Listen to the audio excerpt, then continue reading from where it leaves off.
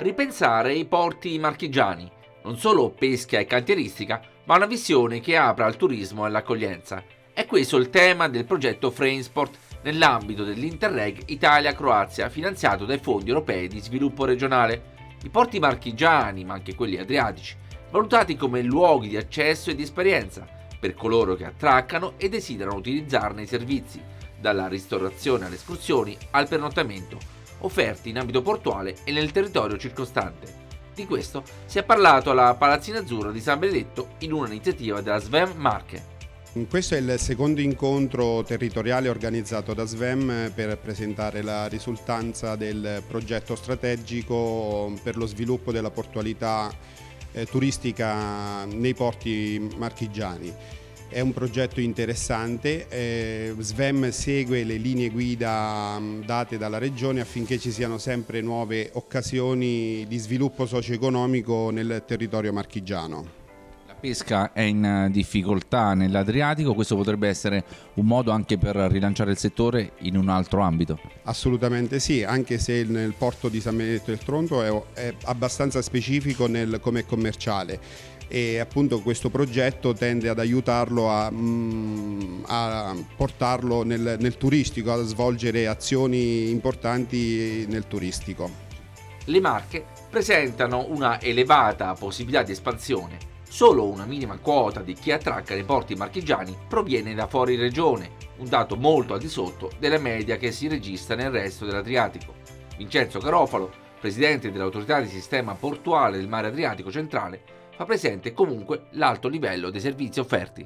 In ogni porto del nostro sistema c'è come minimo un'azienda che anche più di una ovviamente che esercita un'attività o di eh, ristrutturazione, manutenzione straordinaria o costruzione, quindi il nostro sistema direi che in Italia è uno dei più dire, eh, accoglienti rispetto a queste attività.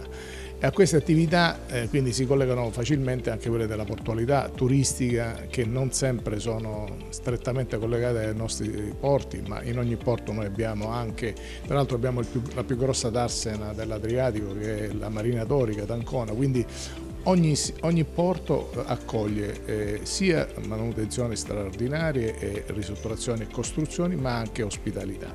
Come questo può contribuire all'economia marchigiana? Contribuisce già in maniera rilevante dal punto di vista della manifattura e quindi delle maestranze e delle competenze che sono sempre più qualificate e poi ovviamente contribuisce e dovrà contribuire ancora di più sulla sull'intero diciamo, comparto turistico e quindi su quello io credo che questo progetto possa essere sicuramente un grande eh, punto di, dire, di, di collegamento per tutto il sistema portuale marchigiano e non solo.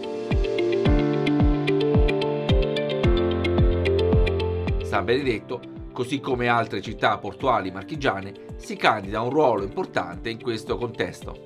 Diciamo che il comune di San Benedetto potrebbe essere un porto strategico anche per il turismo. Non ci dimentichiamo che abbiamo già un'area portuale dedicata appunto alla, alla, diciamo, alle barche turistiche.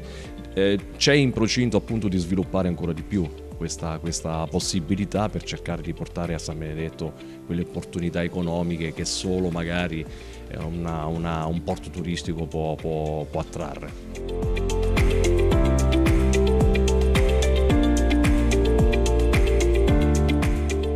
Il progetto è stato realizzato grazie al contributo di importanti università venete. Durante l'incontro, al quale erano presenti molti portatori di interesse, hanno relazionato il professor Paolo De Martino dello Juva di Venezia e il professor Alessandro Bove dell'Università di Padova. Io penso che la parte turistica, soprattutto per le bellezze nazionali che abbiamo, sia uno degli elementi centrali. Noi non abbiamo nulla che invidiare eh, con le coste croate che sono i nostri altri partner, ma abbiamo sicuramente una portualità che è molto più attrezzata, soprattutto dal punto di vista turistico.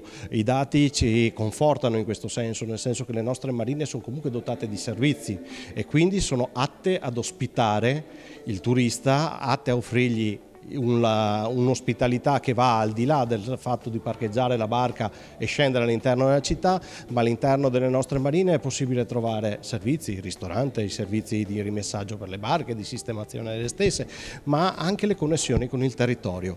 Quindi una marina come interfaccia tra la terra e il mare. Uno dei piloni di quello che è il progetto è la creazione di un portale all'interno del quale sono state raccolte tutta una serie di informazioni. Ci sono informazioni riguardanti la portualità e quindi un censimento di quelli che sono i porti dell'Adriatico con tutte le loro caratteristiche.